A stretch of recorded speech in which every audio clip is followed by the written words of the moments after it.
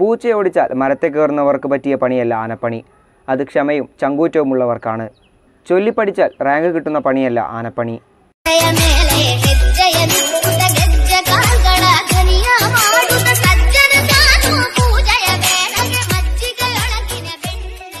ആനച്ചോർ കൊലച്ചോറല്ല അതൊരു കുലത്തിന്റെ ചോറാണ്.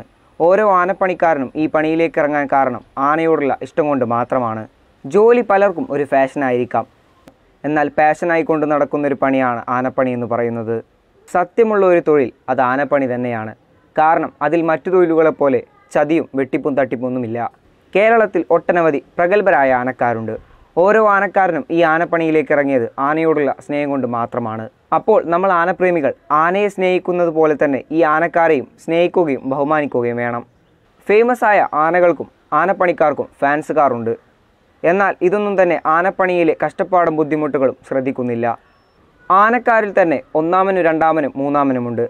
എന്നാൽ ഒന്നാമനെ മാത്രമായിരിക്കും നമ്മൾ ഹൈലൈറ്റ് ചെയ്ത് പഠിക്കുന്നത് കാരണം ആന കൂടുതൽ ചട്ടമാകുന്നത് ഒന്നാമനായിരിക്കും.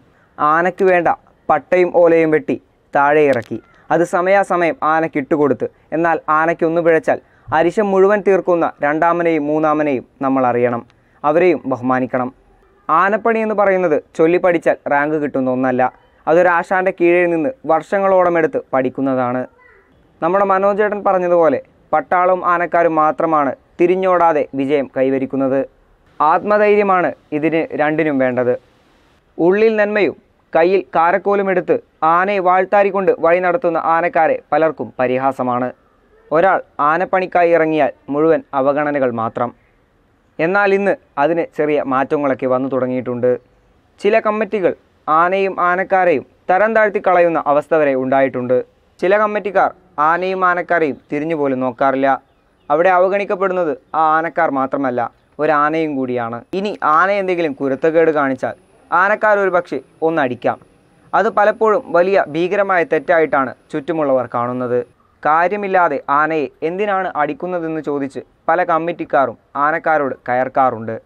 നമ്മളൊരു ആനപ്പണിക്കാരനല്ല. അതുകൊണ്ട് കണ്ടു നിൽക്കുമ്പോൾ പലതും തെറ്റായി തോന്നാം. ഒരു ആനക്കാരനും തന്റെ ആനയെ കാര്യമില്ലാതെ അടിക്കില്ല. അതിൽ എന്തെങ്കിലും ഒക്കെ ഒരു കഴമ്പുണ്ടാകും. പിന്നെ കാണുന്നത് പൂരപ്പറമ്പിൽ മദ്യപിച്ച് വരുന്നവരെയാണ്. മദ്യപിച്ച് വന്ന് ആനക്കാരന്റെ സമ്മതം കൂടാതെ ആനയെ തൊടുകയും അതുപോലെ തന്നെ പട്ടയെടുത്ത് മുന്നിലേക്ക് ഇട്ട് കൊടുക്കുകയും ചെയ്യുന്നത്. ഇത് കണ്ട് ആനക്കാരൻ വിലക്കിയാൽ പിന്നെ ആനക്കാരന്റെ നേരെയാകും. നീ ആരാടാ അത് ചോദിക്കാൻ? അതും വെച്ചാണ് തുടക്കം. ഒരുപക്ഷെ ആന മുഷിഞ്ഞിരിക്കുന്ന ഒരു സമയത്താണ് ഇതെങ്ങാനും സംഭവിച്ചതെങ്കിൽ ആനയുടെ പ്രതികരണം എങ്ങനെയാവുമെന്ന് നമുക്ക് പറയാനാവില്ല. ഇനി കഷ്ടകാലത്തിന് എന്തെങ്കിലും ചെയ്താൽ കുറ്റം മുഴുവൻ ആനക്കാരന് മാത്രമാണ്. നമ്മൾ ആനയെ കാണാൻ പോകുമ്പോൾ ആനയ്ക്കുള്ള ഭക്ഷണവും കരുതാറുണ്ട് അത് നമ്മൾ കൊടുക്കാറുമുണ്ട്. എന്നാൽ ആനയുടെ മൂട്ടിലിരിക്കുന്ന ആനക്കാരൻ വല്ലതും കഴിച്ചോ എന്ന് നമ്മൾ ചോദിക്കാറില്ല. ആനയ്ക്ക് നമ്മൾ ഭക്ഷണം കൊടുക്കുന്നത് ആനയോടുള്ള ഇഷ്ടം കൊണ്ടാണ്. എന്നാൽ ഇടവിട്ട് ഇടവിട്ട് ഭക്ഷണം കൊടുക്കുന്നത് ആനയ്ക്ക് ഉദരസംബന്ധമായ രോഗങ്ങൾക്ക് കാരണമാകും. എന്നാൽ ഇതെല്ലാം ശ്രദ്ധിക്കുന്ന കമ്മിറ്റിക്കാരും ആളുകളുമുണ്ട്. ഇനി ആനക്കാരനെങ്ങാനും ഉറങ്ങിപ്പോയാൽ പിന്നെ അതാവും പ്രശ്നം. നിങ്ങളെന്താണ് പാപ്പാന് ഒരു ഉത്തരവാദിത്തമില്ലാത്തത്? ഇത്തരത്തിലുള്ള ഒരു നൂറ് ചോദ്യങ്ങൾ. നമുക്ക് ഒരു ദിവസമാണ് പരിപാടിയെങ്കിൽ അവർക്ക് വർഷത്തിൽ നൂറ്റിരുപത് ദിവസവും പരിപാടികൾ തന്നെയാണ്. അറിയപ്പെടുന്ന ആനകളെയും അതുപോലെ തന്നെ അറിയപ്പെടാത്ത ആനകളെയും ഒരുപോലെ സ്നേഹിക്കുക. അവരുടെ ആനക്കാരെയും സ്നേഹിക്കുക ബഹുമാനിക്കുക. നന്ദി.